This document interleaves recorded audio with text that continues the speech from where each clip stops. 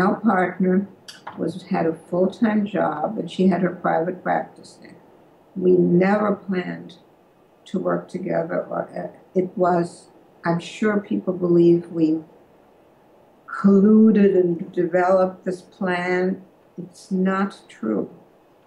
She, as I was leaving, she left her job because she was the director, the clinical director of a nursing home, because uh, her specialty was specifically geriatric therapy, and she wrote some.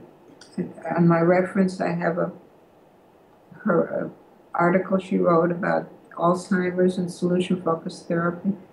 So I was mentioned to her, I'm going to leave, I'm going to I'm going to rent an office, and she said, oh, I'm leaving too. I'm leaving my job. I, said, What are you going to do? Are you looking for another job? And she said, I was thinking of trying private practice too. Would you like to rent an office together? And I said, Yeah, sure. It saves money, you know. Um, and one thing led to another. Uh, my parents lived, my very old parents at the time lived around the corner from the building that we are now in. And one day I drove by, and I, every time I visited my parents, I drove in a, around a certain corner. And one day there was a sign on this corner space to let or sell.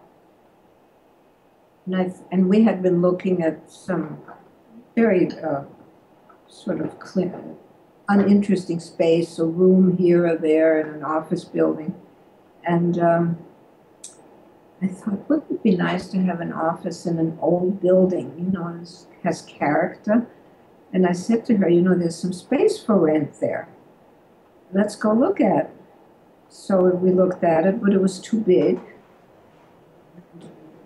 It was like, well, what could we do with this? The building was very inexpensive.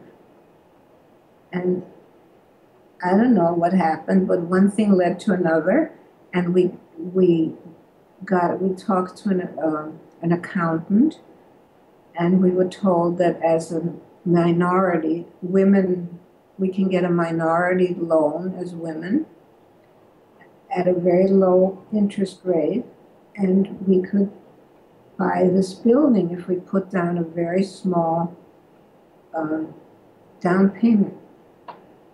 And we decided let's do that. And maybe some other people want to join us and work too. It, it, this happened in three months without any previous planning. And I know there must be people who never believe that, but that's the truth.